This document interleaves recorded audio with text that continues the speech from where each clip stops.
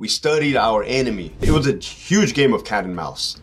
We knew their tactics. We knew their coded words, their coded letters. Kind of thrilling to, to be playing that game of cat and mouse. So this incompetent captain befriended a Mexican mafia member. This captain pretty much gave full control and power to the inmate to run the yard. The whole system's corrupt. The system is corrupt from the top down. Like, I'm getting the hell out of here. Right? I'm jumping ship. And my dad was a prison guard in Southern California at the prison by our by our home. So, you know, he was making good money. I believe when I was nine years old is when he became a correctional officer. So you know, he started making the good money. We started taking trips to Disneyland and, and Hawaii and stuff like that. And um, I said, you have to be 21 years old to apply for the California Department of Corrections.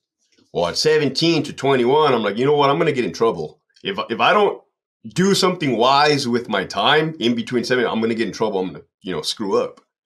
And just because I had that personality, um, you know, not a not a troublemaker, just very mischievous and like kind of rebellious. Right. Um. So that was a goal to do to do three years in the army, get out when I was 21, and then join the California Department of Corrections. Unfortunately, there was a two year hiring freeze at that time frame, meaning they were not accepting applicants. They were not uh, um, so from the year 2005 to 2006 man i went into this dark dark hole of isolating substance abuse drinking um, mental health was not a thing back then. It wasn't spoken about. It was reflected as as being weak to even show something like that. But i mean eventually the you're saying they hired you that there was the the freeze was up and you you got hired the freeze was right? up so uh I actually did a beer run with some of my friends during that break in time, and I got sent to jail. Man, I went to our local county jail for one week. Um, what, what you, a beer run? They don't arrest you for a beer run. Beer run, man. what does that mean? You just went and picked up some beer? No, stole the beer. Oh, okay. That's um. A beer run to me is you go to the supermarket, and you pick up some beer and bring it back. This beer run, beer run was uh, it was three of us hanging out, drinking, and we ran out of alcohol. And like I said, man, I was wilding out during this period of time. And there was a driver, a passenger, and I was just chilling in the back seat. Yeah, I was accomplice, right? I'm with them, you know. And uh, the dude right. runs out of the truck, goes into the 7 Eleven, comes running back out with a case of like an 18 pack of beer, man. Um, unfortunately, right or fortunately, however I want to look at it, the dude jumped in the bed of the truck right in front of a CHP officer. So they immediately pulled us over. And since Brawley's a small town, they ain't got much going on. They charged us with commercial burglary for an 18 pack of beer. So I went right. to jail. It was like a Thursday, man. It was like a Thursday. I thought they were going to release us. That was my first time I've been to jail. You know, I've been to jail three times in my life. Um, all, all alcohol related. Um, you know, I don't know. I no longer drink. I have 13 years of sobriety, but uh, this was back then. Needless to say, Friday was a holiday. Saturday, Sunday was a weekend. Monday was like a holiday. Tuesday, and then Wednesday they freaking kicked us out. Right? Uh, what are they called? Time served or whatever. But while I was in jail, but you don't get up. Right. I was going to say you didn't. You didn't end up with a felony. Or no, no, no. They, it, it got dropped, but however, while I was in jail, there was those payphones on the wall, and, and I called my dad, and he's like, "Hey, man, you got a letter from the California Department of Corrections to go take your to go take your oh. test." And he's like, "I don't even think you could get in right now with what you have going on." So I was like, "Damn!" So I hung up the phone. Like I said, I get out of jail. The following day, I go to Rancho Cucamonga and take the examination, and I pass the examination, the written examination. So it was just a couple months after that is when I had my background investigator. He was a sergeant for the department, and I disclosed, "Hey, uh, you, you have to disclose it. If not, it would be omitting." Yeah. Hey, I got. I, I was. You ever been to jail? Yeah. So the guy's reading. He's like, "Wait a minute, man! It says you were here in jail a couple months ago. What's up with that?" I'm like, "Hey, sir, I could explain everything." He's like, "Please do." It's like, "Hey, I got out of the army. I went back to my old habits, hanging out with the wrong crew, and like, uh, I got caught. You know, I, I made a mistake." He's like, all right, kid, I believe you. I'll give you a chance. And thankfully, he gave me a chance, man. So I ended up joining the California Department of Corrections at the young ripe age of 22 in the year 2006.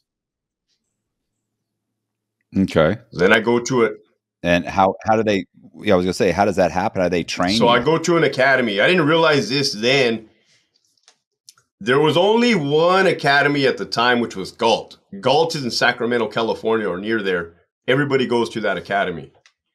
However, I guess they were having a max influx of applicants. I guess once they re- once they op- lifted the freeze, they had so many that they opened up another academy in Stockton, California. Well, the, the academy that I went to happened to be in Stockton. That happened to be an old female prison that was uh, no longer being used. So us, we slept in the cells. We slept in the old female prison cells. We we showered in the housing unit. We lived in the housing unit. You know, to me, it wasn't a big deal because I had just gotten out of jail. Was kind of used to, you know, oh, so I was kind of, and then prior to that, um, I was in the army where we were sleeping on the floor, you know, the mud, the dirt, the snow. So I, it was not that bad of a stay for me. It was 16 weeks of learning policy and procedure and the law. Hmm. Okay. And then you get an assignment. I did get an assignment that was at the same exact prison that my dad worked at. That's Centinela State Prison. That's Was he, he was still, there? He was still there. He was a CO. Okay. So it was kind of cool, man. In the aspect of you know, every little kid wants to know what their dad does at work, or bring your kid to work day, or hey, I wonder what my dad does. You know, you kind of look up to that father figure, literally. And on numerous occasions, I had the opportunity to work with him. Um, 2006, 2007 was a different time frame in the California Department of Corrections. Um, at the time, you had the major prison organization, the prison gang, their, their leaders for the Mexican Mafia, the Nuestra Familia, the Aryan Brotherhood, and the Black Guerrilla family. They were all in the SHU, segregated housing unit in uh, Pelican Bay and in Corcoran. Um, they were on lockdown 23 hours a day, one hour out to a concrete yard. And they had been there for 20 years. So it was a different time, 20 to 30 years. It was a different time frame because you had the leaders of the gangs in a box. You you had the Right. soldiers. There at the time there was 33 prisons in California. The te- they, they all they all you know one hand talks to the next. It, that I don't know how it works in other states, but you know they all move in unity when it comes to the gangs, the gangs. And Right. uh you had you had the soldiers of their gangs, you know, doing riots, 200 man riots, 300 man riots, you know, and I participated as a I had to quell it with a baton, with pepper spray, with the grenades, shooting the 40 millimeter less lethal wooden baton rounds. A lot of attempted murders, a lot of attempted murders with weapons. That'll usually look like two suspects armed with good, good homemade weapons, knives, man. Look like a kitchen knife, stabbing the dog, you know what, out of a out of another inmate and attempting to take their life. Hey, this is Matt Cox. I'm putting out a credit course. I'm going to create this course in order to help you legally build your credit so that you can have as much borrowing capacity as is legally possible. If you're interested in the course, go to the description box, click on the link, put in your email address. You will be sent two letters. These are letters that I've personally used to help get rid of collections on people's credit. And you will also be notified when the course comes out. And what do you guys? I mean, how does that? How does that go down? You guys, you're sitting there at your station, and suddenly the you your you know the radio goes off. It goes down like clockwork. You know, It goes down like clockwork, man. They had it down where every shift change at one between 1:45 p.m., 1:50 p.m., 2:05 or 2:10 p.m. like clockwork on the level 4 GP yard. That's the highest maximum general population yard. You would hear the you would hear the observation tower yell, "Get down! Get down!" And every- the inmates are supposed to get down at that point. You know, you scan, you look real quick, and you see them right in front of the building, stabbing. Boom, boom. Two dudes on one guy just you know, there, murders do happen often, uh, especially now. More, right? And uh, the crazy thing is, is we're supposed to go run over there. We're yelling, "Get down!" They they are not going to get down. Let me tell you that. You're pepper spraying right. you're pepper spraying them in the face, and that pepper spray hurts, man. We we at the academy we have to get pepper sprayed to, to feel it, the effects. Right. They they're drenched. Well, first of all, they're drenched in blood from the victim. And right. all three combatants are drenched, soaked, man, like the movie Carrie. Uh, drenched in blood. You're pepper spraying them in the face, nothing. Not not even slowing down one bit. You're hitting them with the baton, nothing. Not even slowing down one bit. You throw the grenades. The grenades are like pepper spray or pepper spray that's powdered. You know they vary, and they get poof, like a like a powdered donut. Nah, they're they are gonna stop when they are ready to stop, or when we pull out the Mini 14, the lethal rifle cha- uh, chambered in 223. And um, sometimes they'll go all the way until they actually get shot by the observation gunner. What happens to got to to the inmates that you know they end up stabbing or killing somebody? They get recharged. Do they always get recharged? Uh, like if you got a life sentence, are they recharging they, you? They are. They are recharging you, right? So like on the scene, what it looks like is it's a bloody mess. Medical responds immediately. Uh, they come from a little clinic on the yard. They, they bring all their little high tech oxygen masks. They start plugging holes. There's holes all over the body. Um, you know, collapsed lungs. You dudes gasping for air. Um, then we immediately handcuff everybody and everybody in the near area with either with with mechanical handcuffs like the police carry or flex cuffs. You know, the um, plastic flex cuffs, zip ties. Start zip tying everybody. Yeah. We start we, we start taking photographs of the evidence that you you mentioned do they get charged again yeah this is crime scene uh, crime scene evidence preservation so you got to ensure that the crime scene is good for the district attorney to pick it up you're going to have pictures of the weapons on the floor pictures of the suspects you know with blood on their hands and all over their body uh, pictures of the victim pictures of uh, rounds that have may been fired by the uh, gunners um, so all this is documentation, man. There's a whole method behind the madness. And then, yeah, at the local level, you know, because I, I eventually ended up promoting all the way up to the rank of lieutenant. So I was a correctional officer, a correctional sergeant, and a correctional lieutenant at the end of my career. Um, every little every little position has their own. Every position has their own duties. Um, and as a lieutenant, you're going to place them in the administrative segregation, ADSEG, the whole, the whole, you know, isolation. So that requires you to type up a, a, a ASU placement notice stating, hey, such and such inmate blank on this day you were observed in conjunction with inmate so and so attempting to murder inmate so and so. You are now being placed in the administrative segregation unit. And that's, you know, that's part of their rights. They got to know why they're being isolated. So I mean, once they're like locked up and everything, do you ever find out why these things happened, or they just basically, I ain't telling you nothing. No, but you don't know. You just know these two guys jumped on the guy. Do you guys ever do like an investigation where somebody eventually they find out? Like, do other inmates come forward and say, "Listen, this is what it was all about"? Of, that guy took the other guy's tennis shoes. All of you know? all of the above, man. All of the above. Every scenario you just played it out. And I, I told you the times have changed now from 2024 to the year 2006. 2006 was more gear oriented towards crime fighting, fighting crime, cops and robbers, good guys and bad guys, so to say. Um, we studied, we studied our enemy, so to say, right? We we observed them. It, it was a huge game of cat and mouse. We knew their tactics. We knew their coded words, their coded letters. Um, it's kind of thrilling and thrilling to to be playing that game of cat and mouse. So we were the majority of the time ahead of the game. Okay. There was times where we would know, hey, that dude right there is gonna get stabbed. Right. And and it varies. It varies. You can go up to that inmate or put, have him escorted to the sergeant's office and say, hey man, we have information that you were possibly gonna be the victim of a stabbing. You have to understand their mentality is like, nah, nah, I'm good. I'm good. Cause they in their head they think they're good. Um, hmm. You're not good. You owe somebody three hundred dollars and and two bags of potato Correct. chips, and they're going to stab you in the next two or three days. Facts. Facts.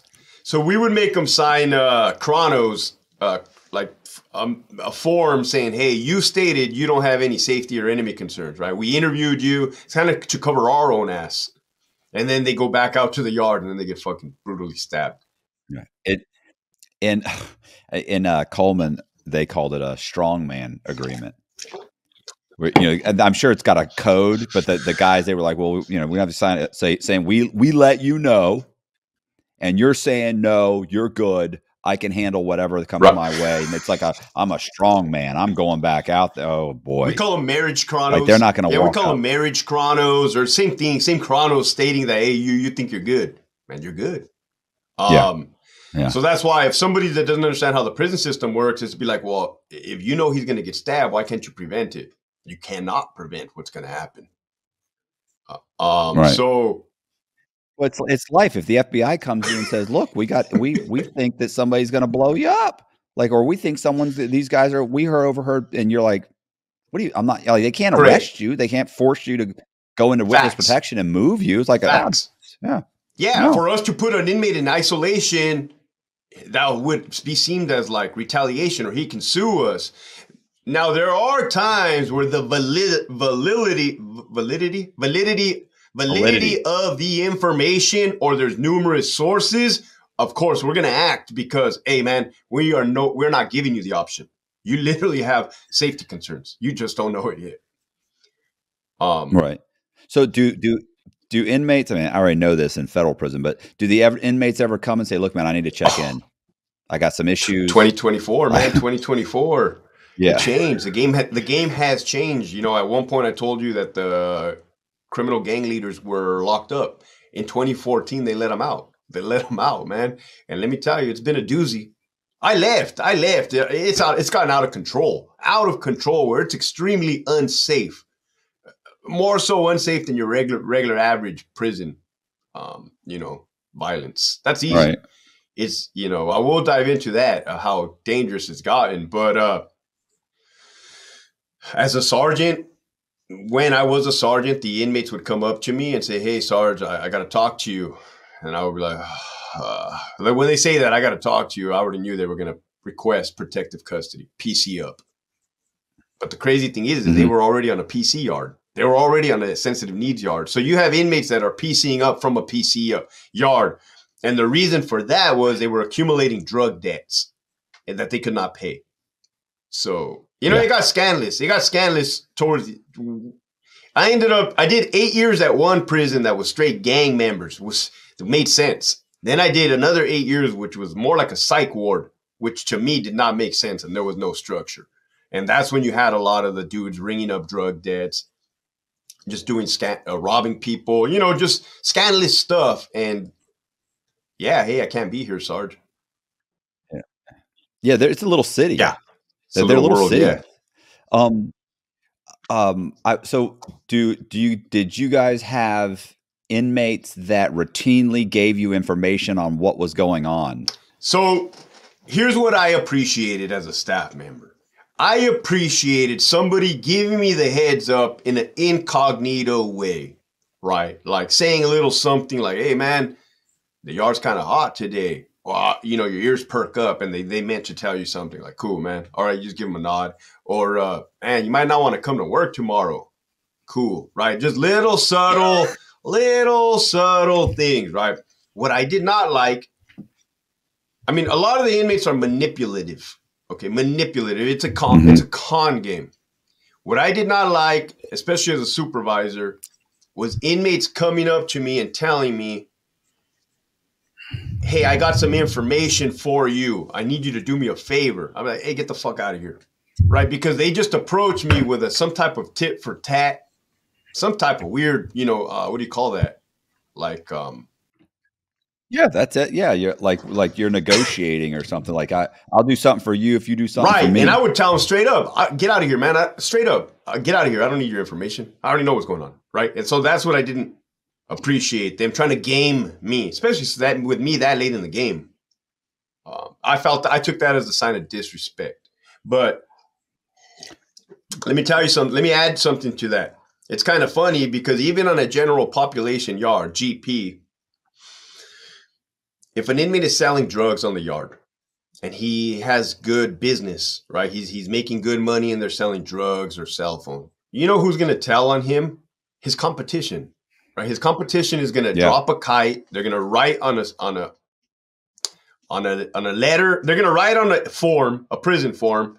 Where they're not going to know who it's. It's going to be anonymous. They're going to drop it in the medical box. We're going to find it, and it's going to say inmate so and so and inmate so and so, building five, cell two thirty seven. They have drugs and weapons and cell phones. And I heard them talking about wanting to stab an officer. so we as a sergeant as a lieutenant we get the officers and we say let's go to this building. Let's go hit this house. Let's go search this cell. And yeah when we, we hit the jackpot we find uh, dope drugs cell phones weapons.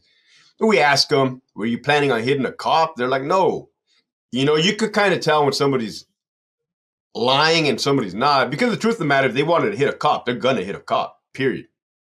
There's nothing stopping them Right. So so typically that's like his competition or somebody maybe the guy owes That him too. money or he That owes, too, you know, I owe this guy money. man. Gotta so they, so we put him in handcuffs and we send him to the administrative seg- segregation. We send him to the hole. Guess what? Your competition just got removed. You just removed your competition. Now you can sprout up your business. So that's how information. Right. Uh, uh, the different races. So how California gets down, the inmates racially segregate themselves, and I know I know a lot of other states have a hard time believing this or understanding it, but it makes sense, man. It's for a, a, a greater safety purpose. Um, all the whites hang out in a certain area. All the Mexicans hang out in a certain area. The blacks hang out in certain tables, areas, and then the others. The others consist of any otherbody else, is not any of those other races I just named. Um, again, dating back to 2006, 7, 8, 9, 10, 11, 12, those those race riots were off the hook, man. Though they were race riots. Uh, the, the Mexican popula- inmate population versus the whole entire black inmate population. Sometimes kites would get dropped on other races to slam slam their opposition, you know, lock them down so they can have more time to access weapons, metal, dope, cell phones. Um Okay. All right. So I mean you at some point you you kind of you become a, a lieutenant. I mean, you're not still in the, you know, as a regular CO, you're like in the units, Correct. right? You're shaking shaking down cells. You're just you know hanging out, really just making sure that some your presence is there in case something goes wrong.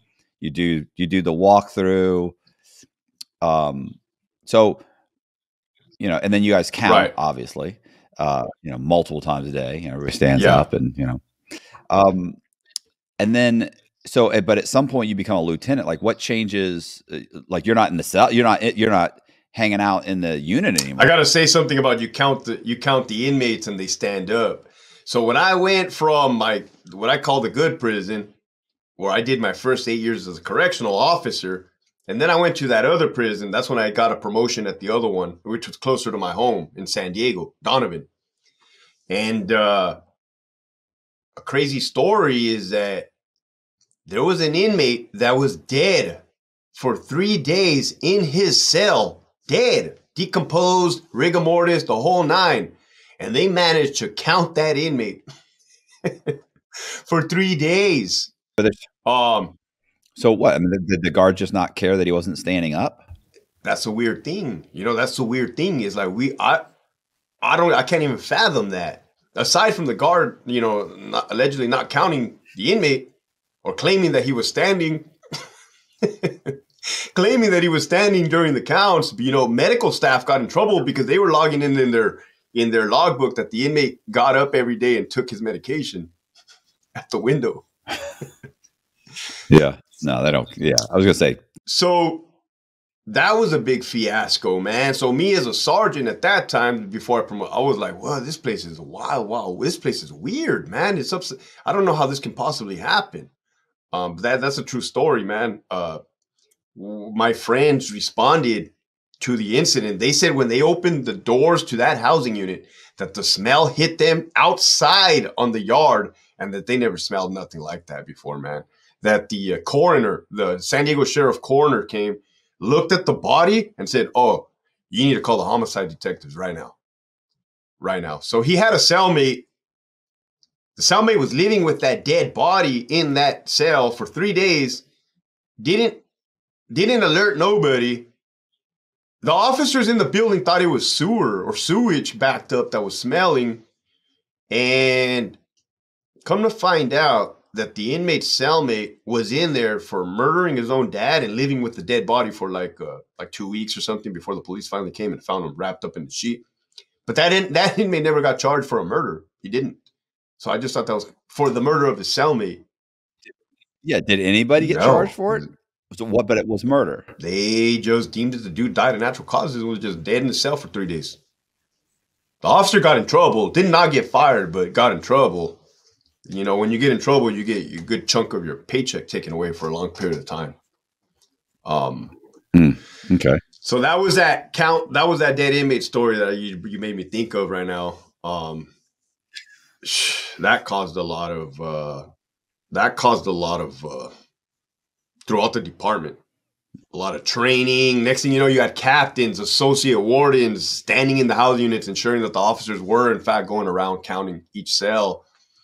And then at another prison in California, I don't know if you heard about the inmate Jaime Osuna. He chopped off his cellmate's head his head. He chopped it off throughout the night.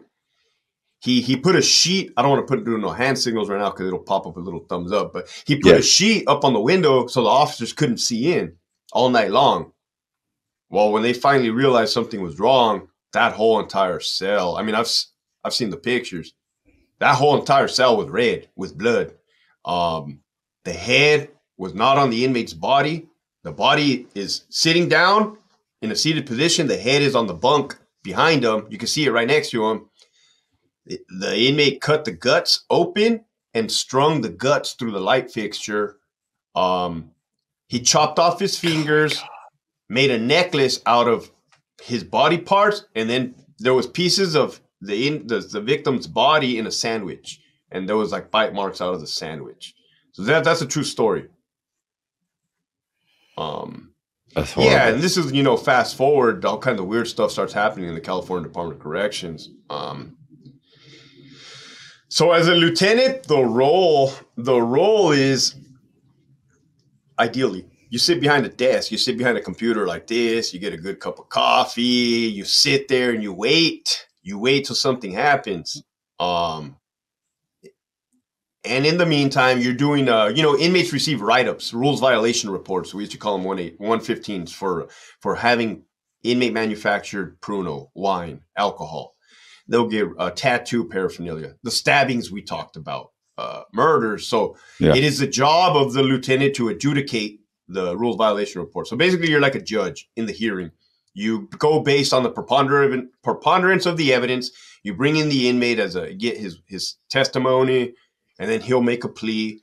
Then you interview the reporting employee, the officer, whoever wrote up the inmate, and then based on the preponderance of evidence, that 51% is more likely than not. That's when you make your um your determination whether he's guilty or not guilty.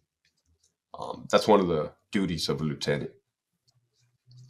I was a fair shooter. I was a straight And then what shooter, man. I was a fair dude. Like, uh, hey, sit, I'll tell, sit down, man. Talk to me. And, again, I have a real keen sense for people who lying or not. You kind of get used to it after a while. So, do you also determine how long they're going to stay in the SHU? What what the punishment is? You do. As a lieutenant, you get to add more time to their sentence um, during those adjudications.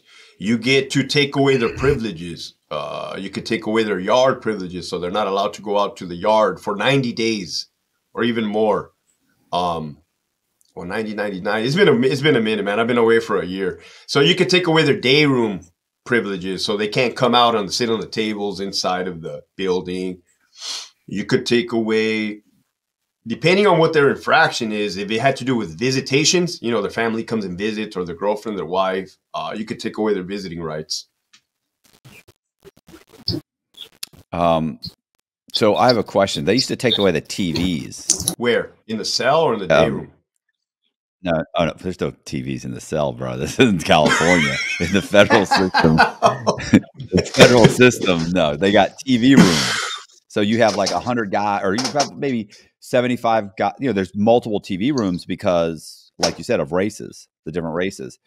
So you would have like the white guys' TV room they called the cracker box, and they would have like a little TV, and you could probably fit, let's say five, five. You could probably fit twenty guys in there, and then they'd have a Spanish TV room, and then they had the the big TV room, which was really like the black TV room, but the black guys had like three TVs, and the Spanish guys also had a TV, so they really had two rooms. Um, and you know, it's, I mean, we're talking about like a hundred guys in in that room, sitting in their chairs watching TVs. There's no nothing in the in the cells. And uh, but yeah, they would always say, you know, that's it. We're closing the TV rooms for for a week, and they lock the doors. It never lasted Yeah. long because without those TVs, Right. the inmates are such problems. That goes without saying. That's like Like now they're in the right. It's a babysitter. We used to say they're Right. babysitters. Like they trust me, they're not. We're getting it back in two days. Trust Uh, me. See, I never heard of that. I never heard of the TV rooms, and I never. When you said take away their TVs, just as a common sense perspective, I'd be like, well, I would never take away something that occupies them, and you know, so so they don't Right. cause havoc or or do other you know crazy stuff. Because you always hear people like, "Oh, they shouldn't even have TVs." I like, listen, Hey. bro, you better hire more officers. Bro, so uh, my whole thing since back then, I always said, give the inmates marijuana and give them Xboxes. Give it to them. because they're going to be in their cells Right. high and playing video games. We're not going to have to be fighting them outside or they're going to be fighting each other. That's the truth. Yeah. So, um, so what what ends up you know happening? I mean, you become a lieutenant, and uh, at, at some point you you kind of just get um, uh, disenfranchised as far with the uh, you know you know upset and like uh, this is not working out or like what went wrong? What what So, uh, yeah, or is it a a series, series of of events? events over a it a period of time. Right. Um, you guys, anybody who's not from California and is an observer looking from the outside in will probably think, "What the hell? That state has gone to hell in a handbasket. That's you know home of the fruit and nuts. That place is, you know." And then I can see their perspective, right? But we're not all we're not all like that here, man. Some of us have some common decency, some morals, integrity, and some values. Um, so we're not all in agreement with what has transpired. We just became victims of the system you know, and I've gotten a grander view and perspective. Not, I'm not a conspiracy theorist because I've experienced combat. I've experienced the California Department of Corrections. You know, I've seen, I've seen it with my own eyes. When we got to Iraq, there was no weapons of mass destructions. so, Right. in essence, man, I was a good soldier. I was a good pawn. I did as I was told every time, without questions or without delay. I did that for for the time in my military, for my time in the eight years as a correctional officer. I promote to sergeant. I still had that mindset, wanting to do the right thing. Wasn't necessarily a crime fighter, man. I wasn't going to go in and make the inmates' days. That was not my style. To screw with the inmates or to. It, it was definitely a game of give and take, right? Definitely a game of spirit of the law. Hey, man, I know you guys are doing this. As long as you're not making a big scene or drawing negative attention to yourselves or to us, do what you do on the down low, you know? Um, then, you know, the politics, agendas. Uh, I've never seen so many people sell their own soul as I have in the California Department of Corrections. I've never, and I'm talking about staff members in green. We wear green and the inmates wear blue. Um, hmm I've never seen so much sab- self or sabotaging. Um, it, it, it utterly disgusted me, man, because I, I was raised right in the military by great leaders, leaders that would eventually get killed in action in Iraq. Um, so they left a huge impression on me, how to conduct myself as a man um, and a professional. I just started seeing the higher ups violate policy, violate the, the book, policy and procedure, the law. And as a result, what they were doing was jeopardizing the safety of us, staff members, and the inmates too. So again, like I said, I'm a straight shooter, man. If something's wrong, I'm gonna say hey, that's wrong. Not only are you violating policy, but but morally and ethically, that is wrong. You could just imagine, or I don't know if you know what it's like to be in an organization where you're going against the grain. It is not. It is not. Right. It is not pleasant, man. It is not pleasant. You're definitely going to feel it. They're going to retaliate against you. They're going to harass you, which is also illegal, right? So it's a system. It's a Right. system. Um, but still, I don't think I'm invincible. I don't think I'm invincible, but I also have two feet to stand on when I feel that I'm when it's right. Right. A few years of that, man. A horrible administration with a warden that came through, a chief deputy warden that came through. What ended up happening was those people at the top surround themselves with yes men and yes women. They want right. they also surround themselves with idiots so they can feel like the smartest guy in the room.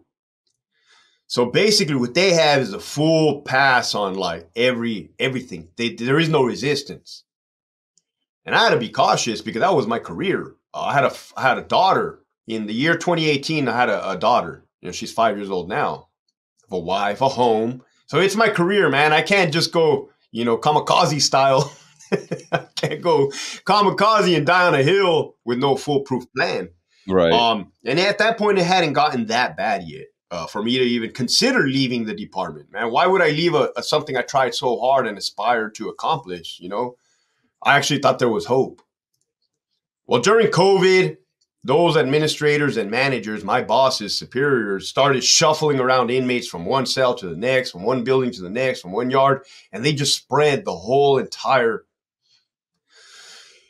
you know, and uh, inmates would go out to the hospital and they would die out there. They would die. And we kept telling them, stop doing that. Stop moving these inmates around. You're making this problem drastically worse. We were all experiencing right. it for the first time, but we were boots on the ground. Even as a lieutenant, I'm still boots on the ground. I'm still in the yard. And of course, they would hit me with it basically, hey, shut up, or we're going to put you under investigation for insubordination. They like to use that term a lot, insubordination. But I know what insubordination is. And I wasn't insubordinate. I was just clearly voicing my professional opinion on the matter. Right. As a subject matter expert. They weren't having none of that. Numerous inmates died at every freaking prison because it's all ran the same from the department. But uh, one of the cam- one of the straws that broke the camel's back was there was this incompetent captain. This comp- incompetent captain befriended a Mexican mafia member and personally had him transferred from one of the from High Desert State Prison, which is the most northern prison in California, down to us in San Diego. Some backdoor stuff, man. We never seen nothing like this. To have a captain be able to handpick an inmate and bring him down. Because because they knew right. each other when he used to work up there. That's kind of shady. That's extremely shady. Not kind of. Well, this captain pretty much gave full control and power to the inmate to run the yard which doesn't even sound correct, right? Why would you give an inmate of the to to run the yard? I mean, you got correctional staff members right. to do that. Long story short, we foresaw something bad ha- gonna happen because of the, the climate. Well, it didn't take long before that Mexican mafia member and, and his cronies stabbed two officers bad, man, in the mouth, knocked out their teeth, all over. They attempted to murder these officers. Other inmates got involved. That's part of the Southern Hispanic Sureño politics that if one inmate gets involved in an altercation, every one of them is supposed to run and render aid to them. So it was right. like probably freaking at the time, probably like 50 or 80 Southerner Hispanic inmates. Again, probably at the when it kicked off, probably around four or five COs. So 80 versus four uh, at the jump. They took the officer's batons away. They broke the officer's face with it, crushed their face, man. I seen him at the hospital. I responded because at the time I was a public information officer. I was a right hand man for that horrible warden and the SWAT team commander. So I was wearing two hats, man. It was extremely stressful, those positions. Well, I get a call from the from the State Department's um, spokesperson and she says, "Hey, do not make a statement to the media." And I'm like, "Well, that's kind of weird, right?" But my plate was full. I had to transfer that Mexican mafia member to another prison immediately, along with other guys that were involved. So they covered that up, or they attempted to cover that up. They covered that up. They covered up the fact that a, a captain was overfamiliar with a Mexican mafia member and in turn resulted in almost two staff members' death. So that didn't sit well with me, clearly.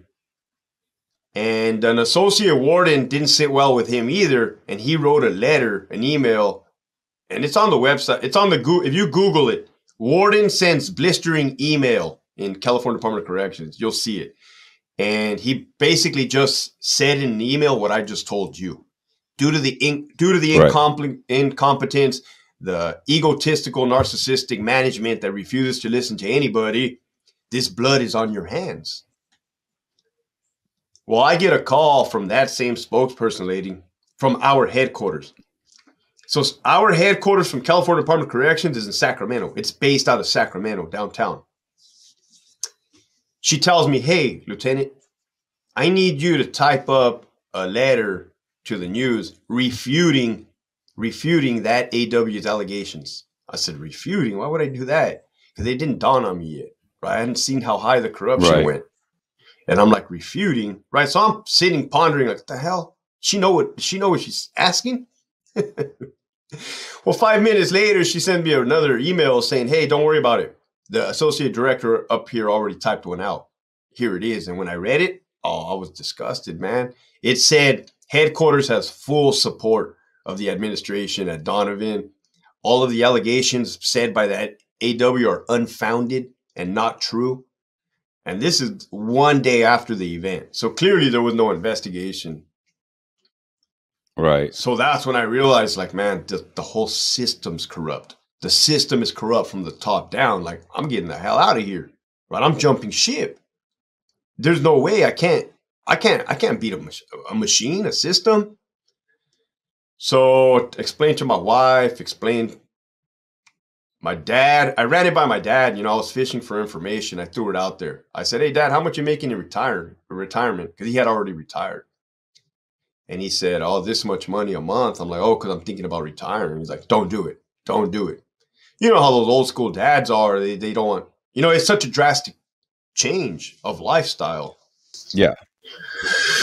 But I ended up asking my father-in-law, my wife's father. I said, "Hey, uh, sir, you know, I'm thinking about leaving my job." He's like, "Hey, man, if that's going to make you happy, you know, I'm back, and you. Go for it." And, and that's all I needed. You know, that's all I needed. Not that I needed any anything to to make me make that decision, but I'm like, all right, this dude trusts me. full trust with his daughter and with his granddaughter. Like, I'm set. I felt okay with it. Um, one thing I forgot to mention too is one of the policies that they made, the administration I'm talking about, was mixing sensitive needs yards inmates, PC inmates, with general population inmates. Oh, that's a mistake. So basically, mixing sex offenders, uh, rats, informants, gang dropouts with general population inmates. And what do you think is going to happen? Yeah. Well, they have. So people are getting smashed. They're just walking in there, and just, I'm on a yard. They just threw me in a in a. I think the only way you would think that that could be possibly be semi-safe if if you took the the GP population only a few of them at a time and put them on the PC because then maybe there's they're so outnumbered they don't do anything. But the hardcore guys are going to walk up and just start smashing people. Everybody was getting smashed every which way. Everybody was getting right. smashed every which way. So yeah, every it was horrible. It was bad. We were feeding, you know. And again, again, it comes down to all ethics, right? Ethics. Is that ethically right? No, I don't think so. Uh, that's not ethically right, man. If we know they're going to kill each other and we're purposely putting them there because you're pushing an agenda coming down from the governor, no, man. You no, right? And on top of that, they were blaming us. on top of that, they were blaming the lonely correction officer at the bottom of the totem pole and washing their own hands clean with what was transpiring. I'm like, no way, absolutely not. This is not going to happen on my watch. I was going to say, I remember in maybe it was 2010, maybe 11 or 12, there was like a mandate from the Bureau of Prisons, right? The Federal Bureau of Prisons, where they said there can't be any more segregation. Right. So inmates can't choose not to go in a cell. Like if you're a white guy, you can't say, I'm not going to cell with right. a black guy. You know, you can't, you can't do it. They go where they're told. Listen, that didn't last Correct. long at all. Like, yeah. So it's like you, you, you only need four, five, six guys to get really, really hurt. And they're like, it doesn't make sense. Like, like nobody thinks like the inmate. It's not like the inmates were complaining. The inmates do this to themselves. They segregate themselves for for for for the purpose of safety. You know, e- even if you're not in danger in that environment, it's such a hostile um, anxiety ridden environment, there's so much stress, you tend to gravitate toward your own kind. Facts. You know, even though that's probably not even popular to no, say right now, truth. but you feel it's just the truth. Like you feel you're going to gravitate towards the people that you feel you have the most common and that will look out Facts. for you. So, um, but you know, it's like the at some point the administration was like, "This isn't right. Uh, we can't have segregation." You're, yeah, but they're doing it to themselves. It's not like the it's not like the sec, like the the bureau wasn't right. doing it. The bureau's trying to undo it, and they don't. And then it took them whatever. It only took a few months before they realized, yeah, we can't we can't do right. this. These guys are gonna they're killing each other. We're people are getting hurt. Like you stop, stop. If that's what they want, then right. But you know how many people, how many guys had to get hurt before that happened? Like these inmates are what they don't understand is it's like oh well you stabbed somebody over. He took your he took two books from you and then didn't return them and then ended up getting stabbed. Like they stabbed each other over a book. Listen, these guys can't sue. They don't other. have anything. You know, they don't have anything. That's other it. than books and pride. Right. Right. So, right. And that's it. So it becomes so overly important. Like the idea that you would stab someone over a small debt or he owes me two bags of potato chips and a, and a six pack of Pepsi. Like, it's like, that's just stupid. No, no. Listen, because if he doesn't, now everybody thinks I can Facts. take from him. It's, it's, you know, but see, if you're in the administration, or even a regular citizen, it just doesn't make sense because it doesn't make it, it, you know, to, to a normal person, it's just like, that's insane. But you've never been in that environment, so you don't really know. It does seem insane. Because, bro, I tell you right now, you can come in my kitchen, you can take a six yeah. pack of soda and two bags of potato chips, and I'm gonna be like, "Yeah, you got, you're good." But you know why though? You hit, like, you hit the nail on the head. It's perception. It's perception, right? And the, it's a predatory world. Victims will not survive. So if somebody goes to your house and takes your chips, you're good because you're not feeling the pressure that, like, man, if I don't do something, I'm gonna get punked myself. And I'm the same right. way, man. You're gonna go ahead, like, go ahead, man. I got nothing. To, actually, now at this point, I got nothing to prove to nobody, man. I'm tired. right. Well, and you can always call the cops. Right. I can file a lawsuit. I have so many right. remedies. I can, you know, whatever. There's tons of remedies, but there's only one remedy in that situation. Facts, violence, extreme violence. Yeah. Um, no, it's the truth. And you mentioned um, how much violence went on, how much people got hurt. I'm not proud to say it, but I participated in that violence. When we mixed those general population inmates and sensitive needs yards inmates on our minimum dorm level one, there was probably like 200 inmates in each dorm, and there was two dorms. Although I was a lieutenant by rank, I was still on the crisis response team, right? It's a SWAT team. So imagine that, man. We were set up hiding in the visiting room because we knew it was going to kick off. So yeah, we when they escorted those inmates from R and R, which is receiving and releasing, they just got off the bus. When it kicked off, I responded with the rest of the team, and I shot one inmate. Man, one inmate like six times in the leg, starting at the ankle all the way up. Boom, boom, boom, boom. And again, man, I'm older now. You know, I have experience. It wasn't the first time I used the 40 millimeter, less lethal. It's a it's a sponge round. It's kind of like a Nerf, and it comes out hard. It can kill you. It w- I have seen the 40 millimeter kill an inmate that got struck in the head. I've seen it because of the right. velocity. Um, and when that happened, you would assume you would assume the whole entire place would go on lockdown and people would go to the hole, right? Well, let me tell you what happened. We zip tied everybody. The management was outside. We escorted, well, not, I stayed inside the dorm. They escorted the inmates out to the basketball courts. They told the inmates this look, we're going to cut off your flex cuffs, your plastic restraints. We're going to escort you back in the building. And we're going to keep doing this all night long until you guys get tired. And when I heard that, and my friend heard that, he goes, Hey, what did they just tell those guys out there? And said that we're gonna. I said, "This is stupid, man. This is dumb. This is wrong." Um, and they they kicked it off one more time. They kicked it off one more time. They're getting shot up. They're getting, you know, and finally we forced them. We forced their hand to live amongst it. That's that's all bad, bro. That's all wrong. Um, it's a miracle nobody got killed. Yeah, because it's I was going to say, so so what? You forced them to. Two weeks right. later, it could pop off again. Like you're not going to be able right. to be there to maintain that peace for all. And that's time. what was happening. You're, the guards are just so they're just so out. And that's what was happening. People don't realize. Yeah, and to me, man, that to You me know- that's not honorable, right? I don't feel like I got a notch on my belt or did anything honorable. Like that, that to me, that's not cool, man. So you asked me what did it take? It took numerous, numerous experiences like that. And one day, December 1st, 2022, I didn't even pick that day, man. I didn't even I just walked in and my coworkers started talking to me. I didn't like the way the conversation was going, and uh, I said, "You know what? Today's the day. I'm out of here." I typed up my letter of resignation. I walked up right up to the warden. The warden happened to be outside the building I was in, and uh, I said, "Here, sir." I actually knew the warden because he used to be my sergeant at the other prison, and now he had just gotten a new promotion as a warden at, at the other prison I was at he didn't try to stop me. He didn't try to say, "Hey, what can we do? Is everything okay?" He just looked, said, "All right, man, good luck." Shook my hand. and this is after I gave 16 years to the state. You know, I didn't, I didn't want to go out like this, but at least I went out on my own terms. You know, I walked out the front door with my head up high, my shoulders back. You know, I was not under an investigation. Um, turned in my ID, came home, and told my wife I quit my job. She's like, "You did? You did what?"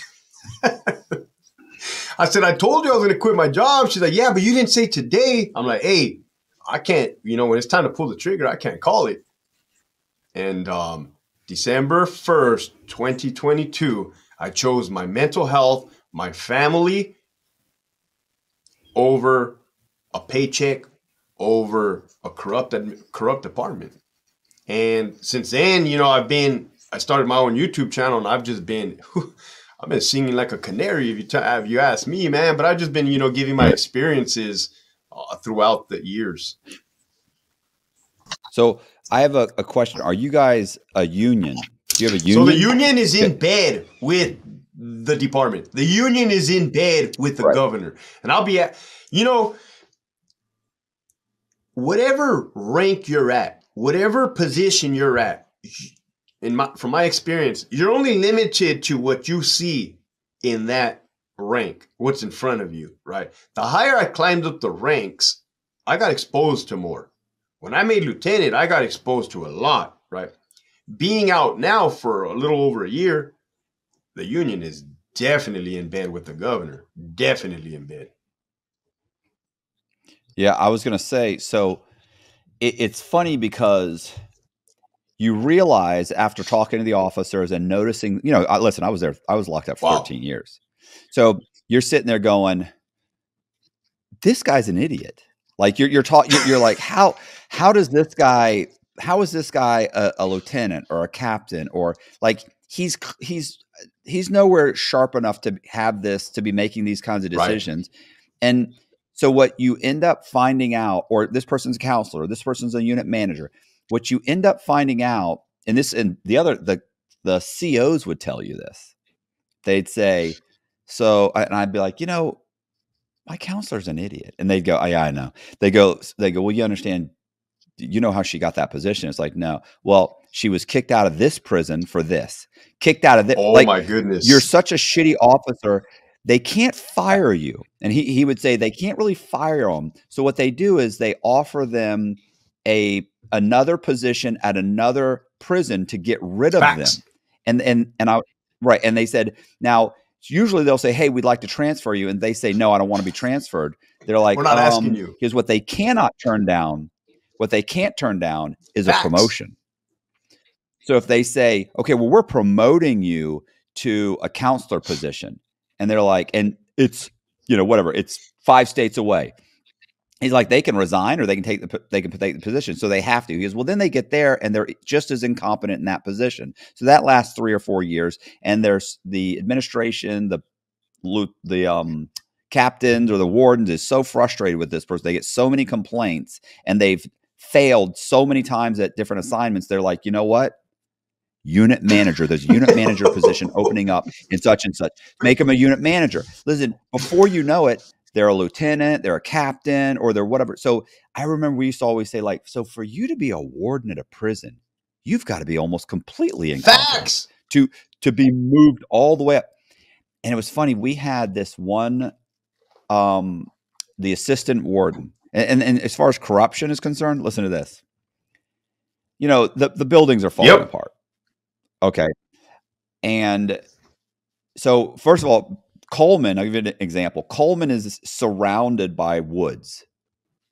And what happens is, you know, those woods, what people don't realize about woods is woods, not only do they grow, but if you trim a, a tree line, within a few years, it's overgrown. It, it, starts creeping in towards the prison again, right? Like those, the trees start sprouting up again, the limbs start growing in. They have to be trimmed.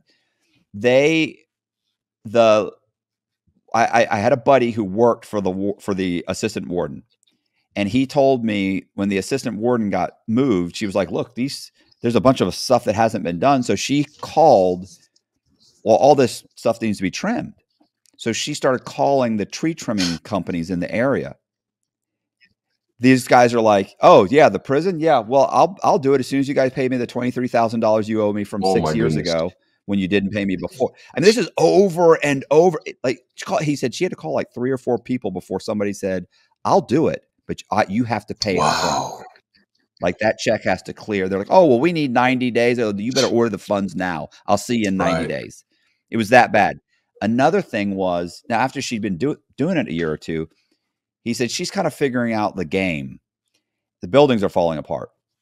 So I forget which hurricane came through in I want to say 2000 maybe it was 16 or 17, I forget. He said after the hurricane came through, she was walking through the buildings with a camera taking photos of leaks that had been the leaks had been there for years. There drywalls hanging down. There's leaks that have been there for years. They're taking photos of it. And she's like, "Yep." She's like, "So this?" She said, "So this just happened, huh?" To to him, and he's like, "No, that's been there for two or three years." And she go, she'd turn around to the assistant and say, "Just happened. They noticed it the the, the morning after the wow. storm." So they were getting FEMA funds to repair the prison. And he was like, oh, they got a couple hundred thousand dollars from FEMA to fix all of these, to fix all the roofs of the prison. That's not what FEMA that like this has been here. You're supposed to have a fund to pay that, but they don't. They piss through the money. They, they lie to the inmates all the time. We don't have any more microwaves. And then you have another inmate who's like, I, li- I work in the warehouse. We got 25 microwaves right. boxes. We do have microwaves. So we can get you another microwave. You guys got to keep writing. There's well, they pocket the money. They embezzle and, the money, and a lot of them get caught. Right. Or they, yeah, I was going to say they. It's funny. One guy who was at another prison who he was like, it's so funny because the shipments would come in for the um, for the kitchen, and he'd be like, those four boxes go in the kitchen. Those two boxes go in the back of my car. Wow. And the, the guy running the place had opened a restaurant. See what I mean? And he's funding he's funding his restaurant, supplying his restaurant with stuff he's ordering. Now, in the Bureau of Prisons, they tried to get rid of that. They went to like a national menu, but it was still happening. And they, you know, they can't. You're just not going to beat these people at their own game. Yeah, you know? that's their game. And I wanted nothing to do with it. You know, even though I'm a free man now, I still worry. I still worry. Like I don't trust them. They're capable of anything. Yeah.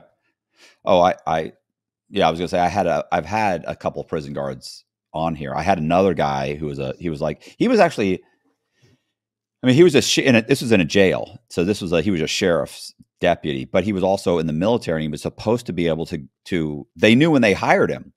He's, I'm in the guard when they call me like i have to go for the weekend or whatever. And then they would call him they go oh, no you can't you can't get leave. He goes no no i i can get leave. I fed my i it, it supersedes Correct. anything. Well we don't have anybody to, to, cover your your shift he's like well then you get Correct. somebody or you cover it. You're the lieutenant. You know you i have to go.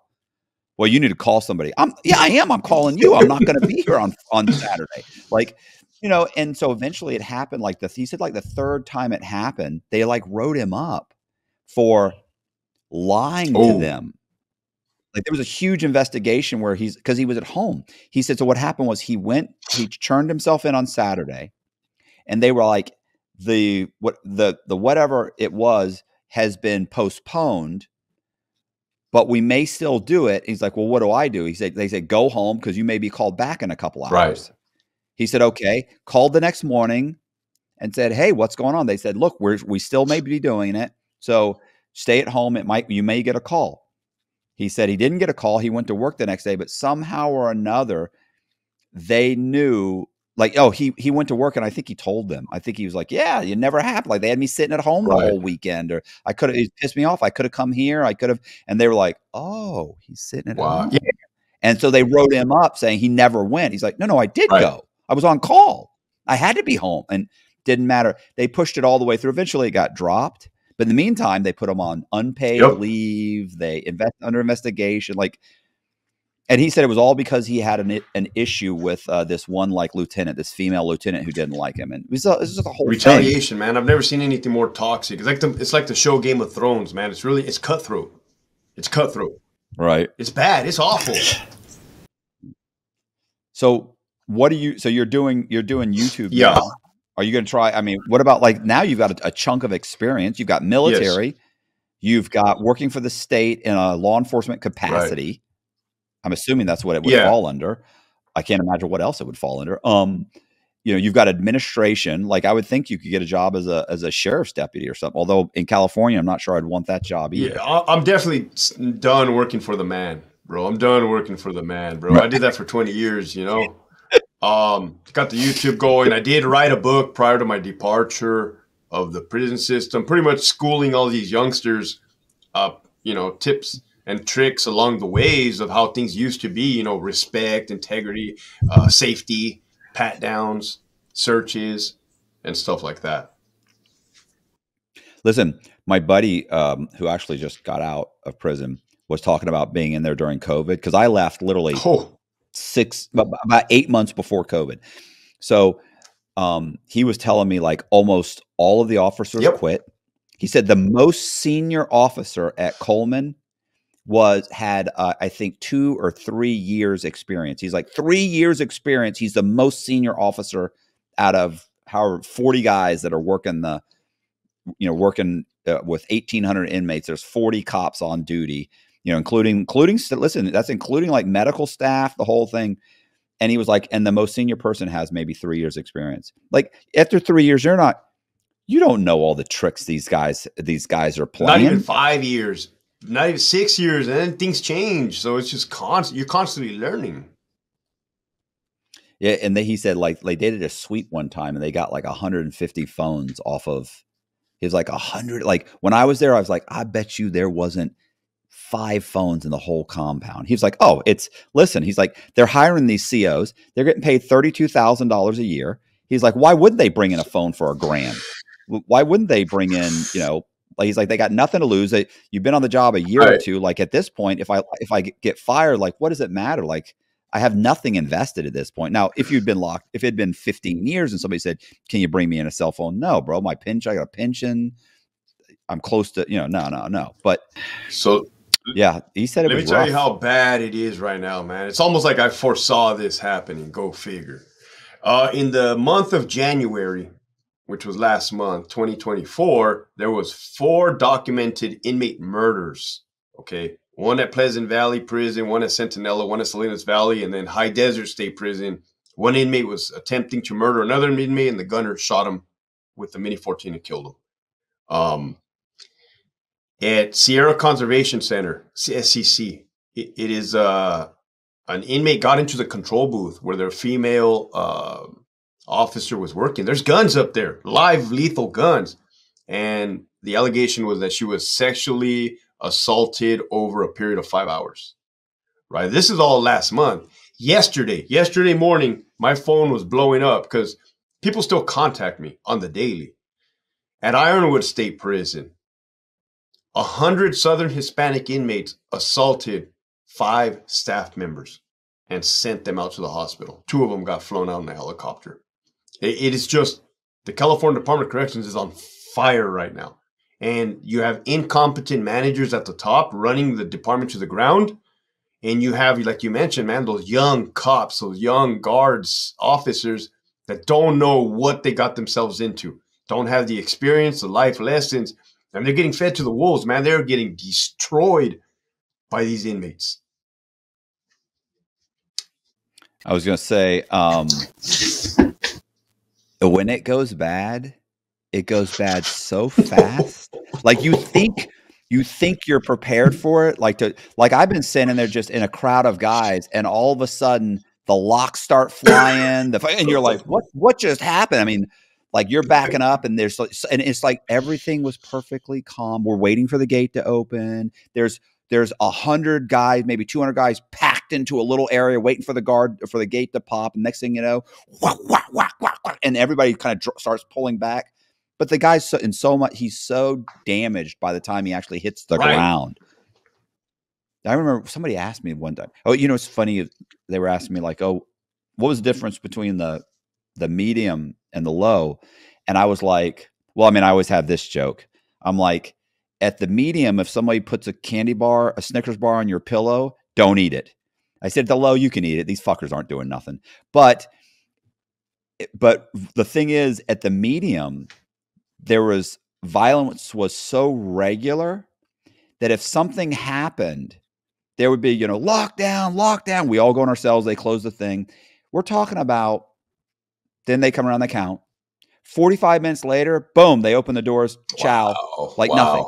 And this is somebody got right. stabbed. Now at the low, violence was less frequent, but when it happened, like you're locked down for three days. Weird. Yeah, it's weird because it's like because I think at the low they were so they didn't know how to handle it as much, even though a lot of the guards crossed right. over. But they would keep you.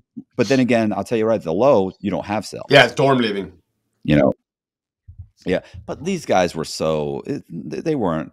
You know, Funny thing is, when I was in the medium and they were going to transfer me to the low, I did everything to try and stay at the right. medium. You know, you had your own cell. You could close a door, not your own. You I was at a bunkie, but or a celly, but you know, you you close the door. You it, it, you you had a, at least the ability for it to be quiet. You know, you had privacy. Um, that the low, you don't have any of that. Like it's you know, from so, my experience, we have four levels here in California. Level one, which is your lowest, level two, level three, and level four. I preferred, and a lot of people prefer, man, COs and inmates. We all prefer level four GP, the worst of the worst. Reason being is because they don't bullshit, man. They're not going to sit there and talk shit to you. If they have a fucking problem with you, you're going to know it. And it's right. all about respect. Respect is huge on those yards, man. So you're going to learn real quick as a guard or a CO not to pop off at the mouth at an inmate because it's going to get handled. Which, by the way, is exactly the opposite of what people think. So whenever people ask, eh, eh, you know, about the the guards, I would say, "Oh, the guards at the low are the fucking right. worst." I was like, "The guard," and they were like, "What?" And I go, "Yeah, yeah." At the low and the and the and the camps, I said they'll talk to you like you're a fucking dog. Mm.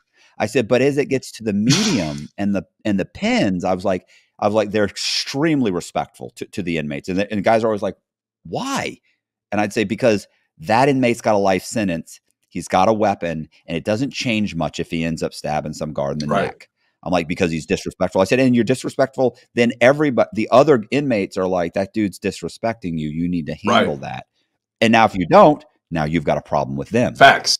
So Right. And I was just like, I was like, so, but at the low or the, or at a camp, I'm like, nobody wants to leave the camp. Like, you can talk to me like any way you want, bro. I don't want to leave. I work my way down, or I'm not tough enough to end up hurting right. somebody and go to a pin. You can't put me in a pin. no, I'm as soft as cotton. Yeah. So yeah. Oh yeah. So, the level four. But it's funny. The structure is good too, man. Even the inmates, the convicts have their own codes, their own rules. You know, one of them, one of them is don't disrespect the guards, the COs, and I appreciated that. You know what I mean? Everybody's just grown, or for the most part, and trying to do their own thing and take it easy. Yeah, I was gonna say it's funny you mentioned like at the medium, they would the tattoo guys would go to the guard, this you know the CO, and say, "Hey, listen, um, bro, I you know, look, I tattoo." I, would like to be able to tattoo this guy. And the guard, with the CO would be like, listen, the lieutenant comes around at seven o'clock. Yeah. Okay. So I'm just saying, have your lookout know he's coming. Like you don't have to worry about me, but if that if he walks by and sees you guys, they're like, no, no, no, I got it, bro, I got it, I got it. And they'd be like, all right, you know. So the the guards were like, okay, like, oh, hey man, I run a table, I this that, that's fine. But the lieutenant's coming by. Yeah. If there's any problems, you're not going to be doing it again. No, no, there'd be no problem. That's spirit of the law. They actually teach us at the academy, man. Spirit of the law is when you cut them breaks like that, and letter of the law is when you book them by the book. So I operate off spirit right. of the law, man. That shit worked for me. It worked for me. You know, everybody's style is different. Well, I, think, I feel like it keeps the peace. Yeah.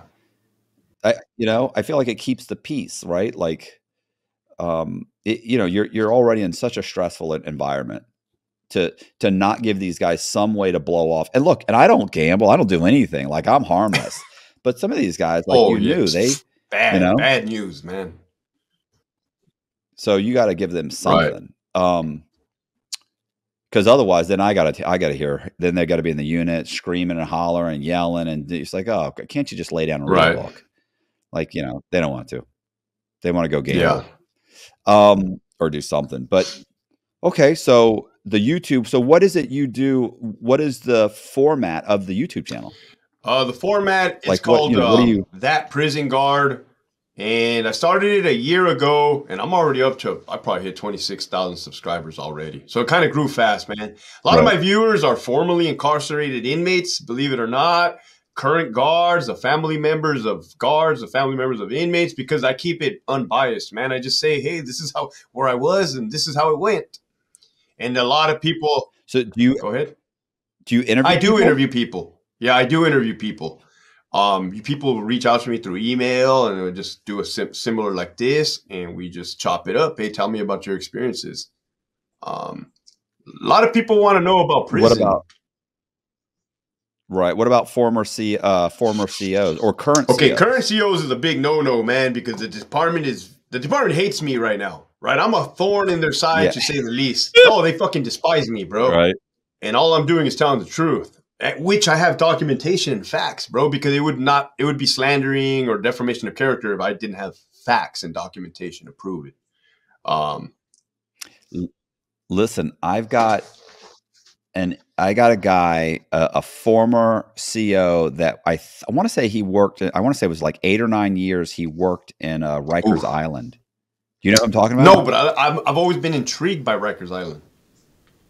Well, he's worked at a couple different places, but I mean, he was. I, I can't imagine anybody more corrupt. He's bringing in he's bringing in drugs. He's bringing he's pimping out other female correctional officers. Oh, it's it's in if you if you he's bringing in uh, alcohol like you know he's like yeah you know 500 bucks i'll bring in you know a little bottle of alcohol you can have some alcohol for your birthday like it's, he's like i'm meat i mean it was just blatant um and he talks about listen he, he, as a matter of fact his book was his story well he write he wrote a book was optioned by will smith for like three or four years they kept re-op re-optioning it but will smith they dropped the project after will smith oh. you know started slapping slapping people yeah. um but listen he'll do your thing you'd get you know, you get a kick out of it. And the guy's totally open about it. He's like, oh, I would do this, I would do that. One time this happened, one time that happened. It's like you you as an inmate, I, I I'm like in shock. But as a CEO, you'd be like, oh, how did you get around it? And now he was doing it too, by the way. He was like, there weren't cameras everywhere at that point. Is when he was doing it, and he'll tell you the years and everything. He's like, they hadn't installed all the cameras yeah. yet. So he's like, I could go pick up an inmate, walk him over into areas where he shouldn't be.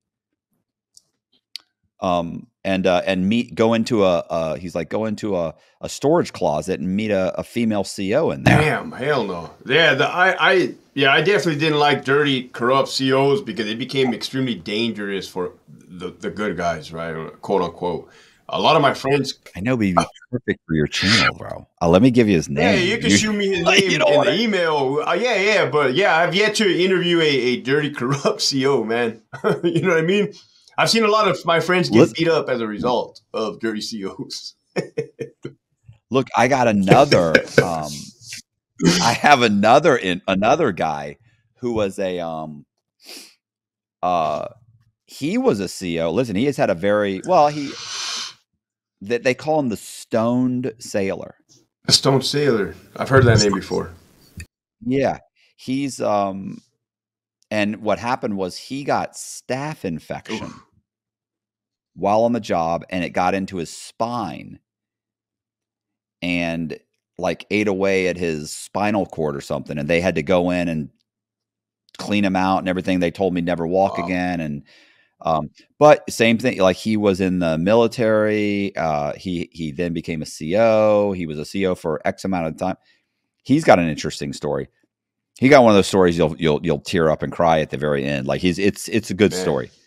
Um, so uh, yeah, but uh, I, I've got his information too. So I've got some. C- I got another CO. I told you the one that they did the retaliation. I got like three COs, yeah, send, bro, that I could give me. Yeah, send me send them my way. Yeah, they'd be interesting yeah. um, for sure. So yeah, I talk about. I do interviews with former inmates. No, no current COs, man. They will get retaliated. They'll get shit canned from the job, bro. If I were to do, you know, current. Right. I believe I I did one or two or three previous former uh, employees.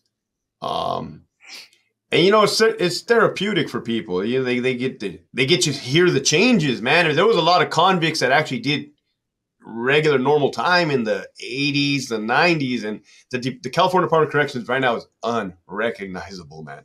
Uh, it, it's on, it's out of control.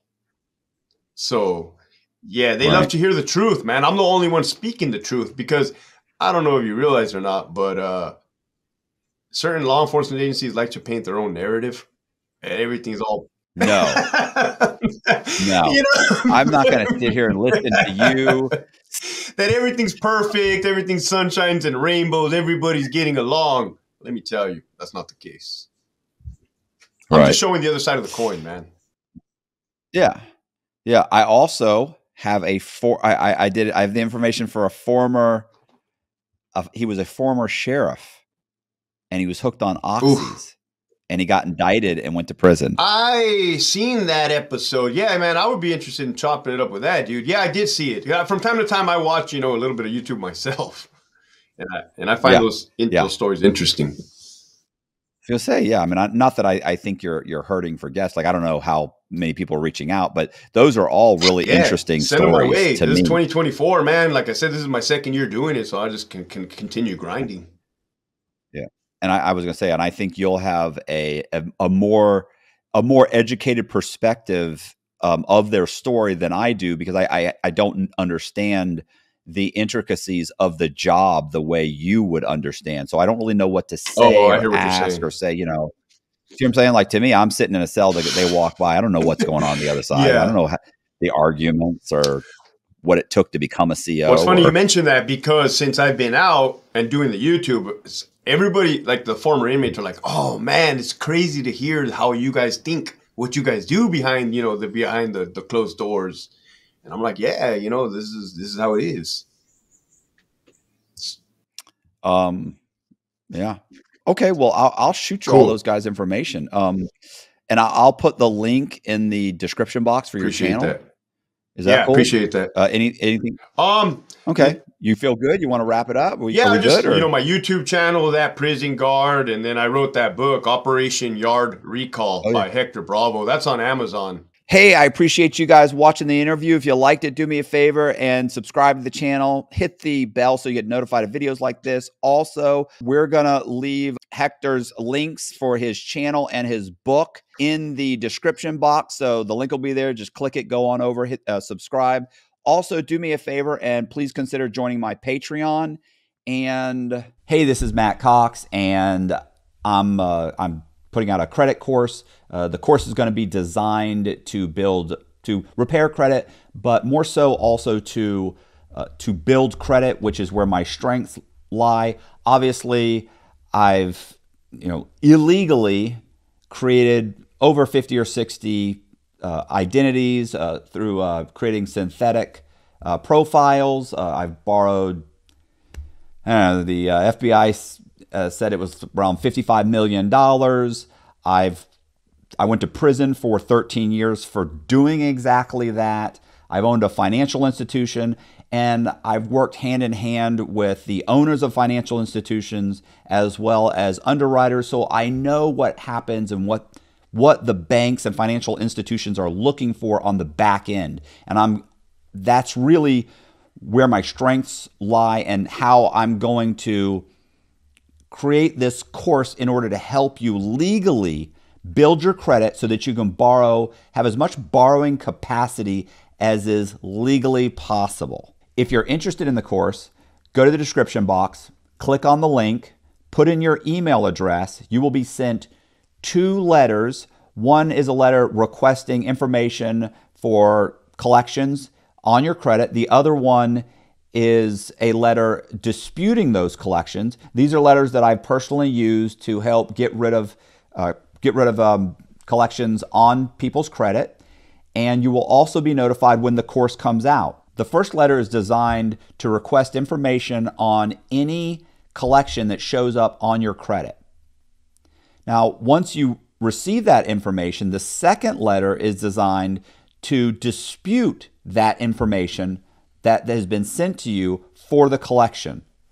By using these two letters, typically you're able to to get rid of any collection that is on your credit. So listen, the first letter that you're going to get is it, basically that letter is designed to dispute any collection that shows up on your credit, right? So you've got uh, you pull your credit, which we're going to get into. You know, you pull your you get your free annual credit report. You get it. We're going to explain how to kind of look at it deter- and determine uh, what collections need to be removed. Uh, so you're going to take a look at that. You're going to find those collections, and then this letter is to is is set up so that you can request information from the collection company about the actual debt, outstanding debt. Uh, what's interesting is that you'd be shocked how many of these companies can't provide much of anything. They typically, and I mean when I I, I mean like 95% of the time, they can't provide any contracts. They can't provide um, anything that you've signed. Typically, what they've got is they purchased or were assigned a debt from you know a hospital a phone bill uh, maybe a, some kind of a phone uh, you know a cellular company or a utility or maybe it's even a credit card company. And all they really get is your name some very basic information that says that you owe this debt. So what happens when you go back to them and you say listen this is an $1100 debt that I don't believe I owe, and I'd like to know what information you have that proves that I owe this debt. You're not actually denying that you owe the debt. You're just saying, I don't believe that this is, I don't think you have the information. I, I don't really think that that this may even be me. Maybe it's not me. Why do you think it's me? Now, typically, they can't send you anything. So, of course, what you're going to do is you're going to take this letter, you're going to fill it out with the information, you're going to mail it in, you're going to get a certified you want to get a, a certified, uh, you know, um, return receipt, because if they don't respond, when you go to, if they never send you anything, and sometimes that happens, if you have the certified receipt, they signed for it, they just didn't respond. Okay, now they're they're breaking.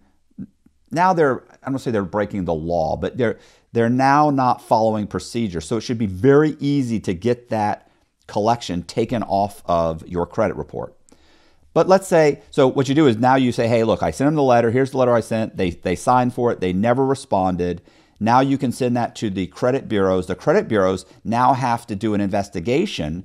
And if they can't prove that they did send you the information, then they'll take it off your credit. And that's one way. What if they do respond? What if you send them that letter and they send you some very basic information? Typically, like I said, 95% of the time, you're going to get one or two pages that are it's a printout. Now, so the second letter is designed for you to dispute that, which is saying, one, I don't see anywhere that this says that this is me that took this debt out. You know, this may have been a, it may be a case of a stolen identity or, you know, uh, it may be identity theft. It may be a mistake. I don't see where you have my driver's license, my information, my, my social security number, my date of birth, my signature. I don't see where you have a contract where I signed. So you'll then re- dispute it again using the second letter explaining all of that. Now they have a certain period of time. Obviously, once again, you want a certified receipt. You'll send in that receipt, or you'll sorry, you'll you'll receive that receipt, knowing that they received it. And if they can't then come up with any of that information, you can then go to the um, credit bureaus and say, listen, this is what they sent, this is what I sent them in response. This is a letter. They received the letter and they were never able to come up with anything that said, I owe this debt.